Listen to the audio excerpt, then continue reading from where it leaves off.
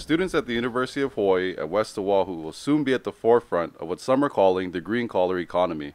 But first, they'll need to break a sweat and get dirty. The UH West Oahu Garden is designed as a living laboratory where we teach theoretical elements of ecological sustainability and agriculture and we use the garden as a site for the hands-on learning where we're integrating the theory with the practice. The Bachelor of Science in Sustainable Community Food Systems is a multidisciplinary program combining sustainability, environmental science, agriculture, and the politics of food.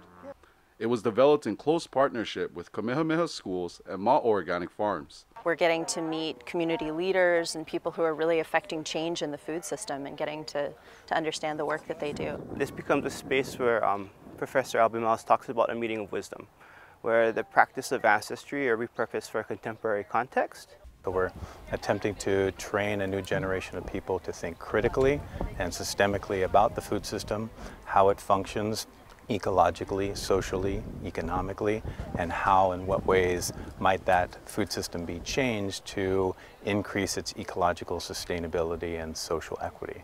You can you go for a higher education diploma without seeing your role after that as just sitting in an office where you can be true to this idea of working with your hands, working with the land.